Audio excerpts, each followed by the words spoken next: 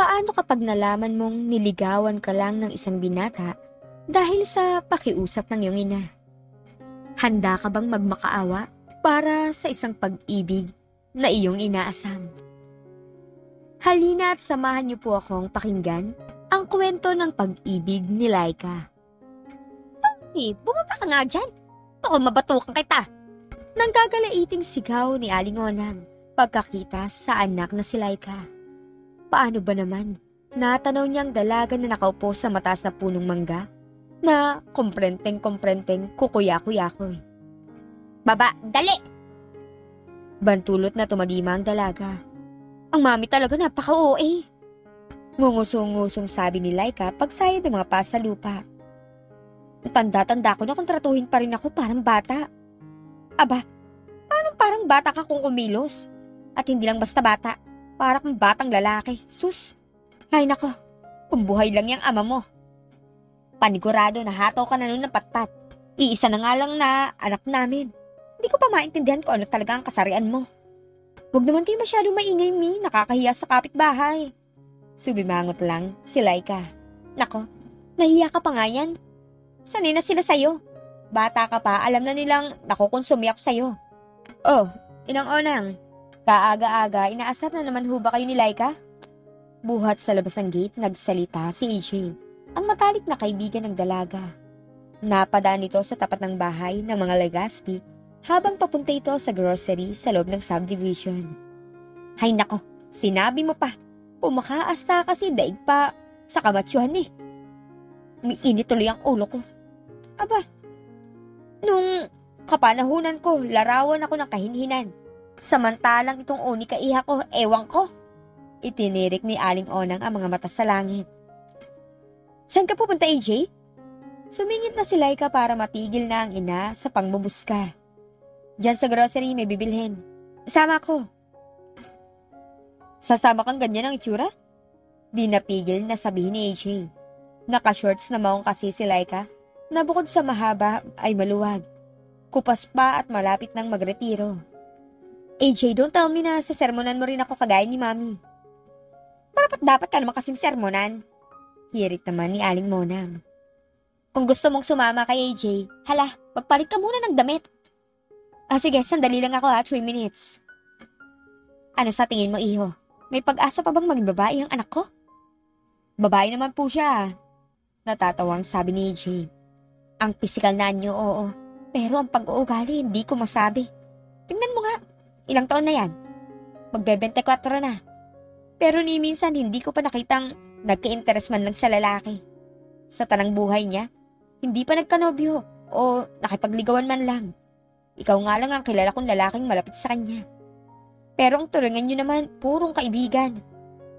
Palagay ko nga eh, hindi mo na napapansin na babae si Laika kapag kasama mo siya eh. Paghihimutok ni Aling Onang. Kaya naman ho kayo sa ibang mga magulang na kilala ko? Sila ayaw na makipagnobyo ang mga anak samantalang kayo. Parang gusto niyo pang ipagtulakan si Laika na magka-boyfriend na. Hay nako, para sa akin kasi walang masama sa pakikipagnobyo. Lalo't nasa tamang gulang ka na at hindi ka gagawa ng kalokohan. Gusto ko lang mawari kung normal ba ang anak ko ano. Normal naman po ang anak niyo ah. Hindi pa lang po niya nahahanap ang lalaki magpapatibok sa puso niya. Ay, sana'y ganun nga iho. Gusto ko naman makitang lumagay sa tahimik ang aking anak. Bago man lang ako pumanaw.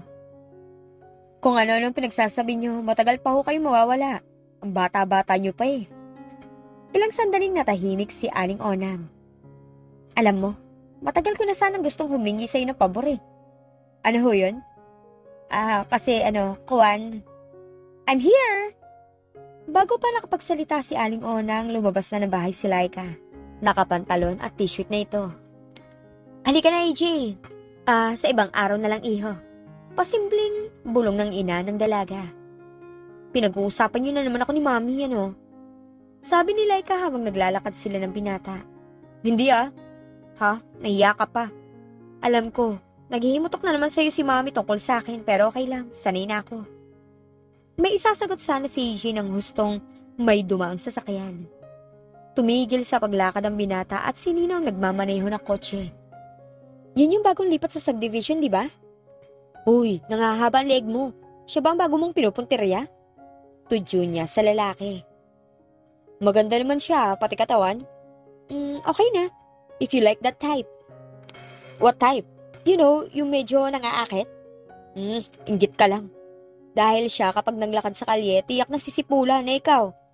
Naranasan mo na bang sipulan ako sinong lalaki? Dito o kahit saan?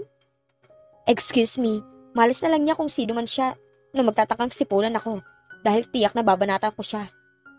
Ay, hayang ka na naman. Umandar na naman pagkasiga mo. Hindi na ako nagtataka kung bakit hindi mawari ng mami mo kung babae ka nga ba o lalaki. To tell you the truth, hindi ko rin sigurado. Alam mo naman ni, minsan hindi pa ako nagkakagusto sa lalaki. Ni crush nga, di ko pa na-experience eh. Pero hindi rin naman ako nai-inlove sa babae. Ano sa palagay mo? Ewan ko sa'yo. Halika na nga sa grocery. Gutom na gutom na ako. Sabi ni AJ. Gabi. Nagbabasa sa kwarto si Laika nang tumunog ang telepono. Tinig ni AJ ang narinig niya nang sagutin yun. Yes, ano mapaglilingkod ko sa aking pinakamatalik na kaibigan?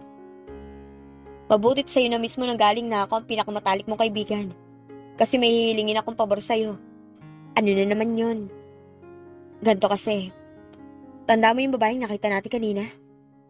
Eh, hindi ko pa nasasabi sa'yo pero... Pero type ko nga siya. Nililigawan ko na nga. Hay! Ang bilis mo naman. Dinalaw ko siya kanina at niyayang mag-hiking. Aba, akalain mo pumayag? Mahilig din pala siya sa kalikasan kagaya ko. Ang kaso nga lang, nagdalagang Pilipina effect. Kailangan daw may chaperon dahil hindi magandang tingnan kung lalakad kami na kami lang. Pwede ka bang sumama? At bakit ko naman gagawin yun, Aber? Baka nakakalimutan mo, isa akong scriptwriter at may mga kwento akong binubuo ngayon, no? Ilang araw lang naman eh. Sige na, please. Please. Alang-alang sa pagkakaibigan natin. Ikaw, AJ, hindi ko malaman kung 28 ka na nga ba o teenager pa. Pag may nagugustuhan ka kasi, parang bata ko kumilos. Wow, nagsalita ang taong matured. O ano, payag ka ba o hindi? Oo na, kailan ba? Malamang sa susunod na linggo. Tatapusin ko lang yung disenyo ng bahay na pinapagawa sa akin. Saan ang punta natin? Well, isipin ko pa. Basta payag ka na ha. Baka mamaya uurong-urong ka. Kulitin mo pa ako, talagang uurong ako. Ito naman, di mapiro. Lambing ko lang yun sa'yo. Salamat, Laika ha. Utang ko sa'yo ang kaligayahan ko sa pag-ibig pag nagkataon. Hay nako, babay na bago ka pa magdrama. Naantok na ako eh. Sabihin mo na lang kung kailan ang alis natin, okay? Nako, iho. Wala pa si Laika. Umalis kanina at may isusumiti raw sa trabaho. Sa lubong ni Aling Onam. Nang pagbuksan niya si AJ ng gate. Pero darating na yon, hintayin mo na. Wag na ho, babalik na lang ako. Tuloy na. Gusto rin kasi kitang makausap ng hindi kaharap ang makulit kong anak. Halika, nagluto ako ng paborito mong merienda, ginataang munggo. Ay nako, paano ho ba ako makakatanggi niyan? Pinaupo ni Aling Onang ang binata sa sala. Pagkaway naglabas siya ng isang malaking mangkok ng ginataang munggo. O siya, kain na muna. Hmm, amoy pa lang masarap na. Teka, ano ho ba ang gusto niyong sabihin sa akin? Yun yung marinig ni Laika. Kuwan, iho. Alam mo kasi, parang anak na rin ang turing ko sa'yo. Talaga kasi nag-aalala ko dyan sa anak ko. Gusto ko, ano sana eh. Gustong gusto ko siyang makitang isang ganap na babae. Nakikinig na ipinagpatuloy ni AJ ang pagsubo ng ginataang munggo. Pwede mo pa siyang kwan? Pwede mo ba siyang ligawan? Oh! Malay mo, baka ikaw lang palang hinihintay niya. Baka ikaw ang kapalaran niya, ang lalaking mamahalin niya. Magkaibigan lang ho kami. Maaari mo rin siyang matutunang mahalin. Magkaibigan na kayo at ang pagkakaibigan, napakagandang pundasyon ng pag-iibigan. Eh, eh, hindi malaman ni AJ kung anong sasabihin. Sige na iho, nakikiusap ako sa'yo. Huwag mo sanang isiping napakaloko ko na para ako pa ang manligaw para sa aking anak. Kapakanan lang niyang iniisip ko. Alam ko naman pong mahal niyo si Laika. At mahal ko rin siya, pero sa ibang paraan. Kapag sinunod ko ang sinasabi niyo, baka masira lang pagkakaibigan namin. Maski subukan lang natin. Baka naman magbago ang asta niya kapag naligawan siya ng isang taong maaari niyang mahalin din. Kung sakaling manganib ang niyong pagkakaibigan, ako na mismo ang magtatapat sa kanya na pinakiusapan lang kita. Sabi ni Aling Onang. Paano kung magkagusto siya sa akin?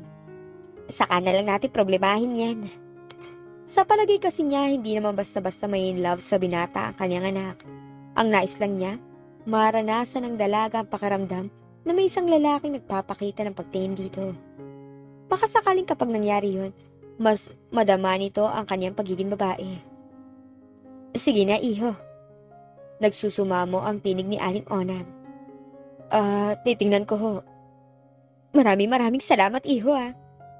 Bagay na bumagabag sa isipan ng binata dahil sa totoo lang, wala naman siyang balak sundin ang inuutos nito. Ah, eh, alis na ho muna ako. Oh, bakit naman? Nailang ka na yata eh. Hindi ho, magbibis lang ho ako. At babalik mamaya. Nagmamadali sa paglalakad si AJ. Ibig na ibig ninyang makarating sa kanila. Paano? Kanina pa niya pinipigilan ang pagtawa. Iniisip pa nga lang niyang liligawan niya kaibigan, ibig na niyang humalakhak. Baka bugbugin pa ako nun, nasabi niya sa sarili.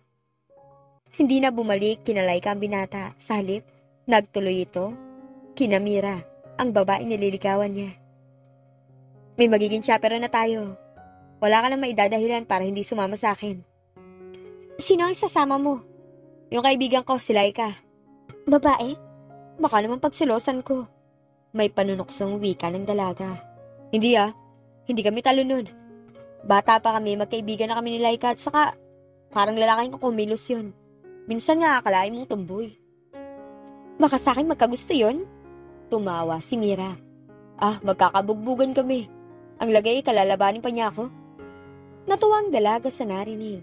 Parang musika sa kanyang tainga ang sinabi nitong pambobola. Lalo tuloy niyang nahalata na gustong gusto siya ng binata. Nakakaaliw tuloy na gawing libangan ito. Saan ba tayo pupunta? Saan mo gusto? Ikaw ang bahala. May alam ako magandang lugar sa Zambales. Gusto mo ron? Okay lang. Maganda ka na kung ganun. Lalakad na tayo sa makalawa. Ilang minuto pang namalagi si AJ sa bahay ng dalaga. Nang makauwi, at nasa kanyang silid na, di mampigilan ng pananabik na makasama si Mira sa pinaplano nilang outing. Excited pa rin. Tinawagan niya si Laika. Pumunta ka daw dito kanina? Paniniguro ng dalaga. Oo, magpapalipas oras lang sana. Hindi na nga ako nakabalik eh. Nasabit ako kay Namira, yung nililigawan ko. Nga pala, sa makalawalan lakad natin ha. Sa Zambales tayo pupunta. Tinawagan mo ako na ganitong oras ng gabi, parang sabi sa akin yan? Sorry ha, sabi mo kasi. Ipaalam ko sa'yo kung kailan tayo alis eh. May pagkasarkastikong banat ang binata. Sige na, matulog ka na. Sungit ka na eh. Ibinabana ni AJ ang telepono. Lalo tuloy na pikon si Laika. Hindi pa man niya nakikilala ang matitipuhang babae ng kaibigan. Ayaw na yata niya rito. Susundin kaya ni AJ ang utos ng ina ni Laika? Paano kung ma-develop ito sa kanya?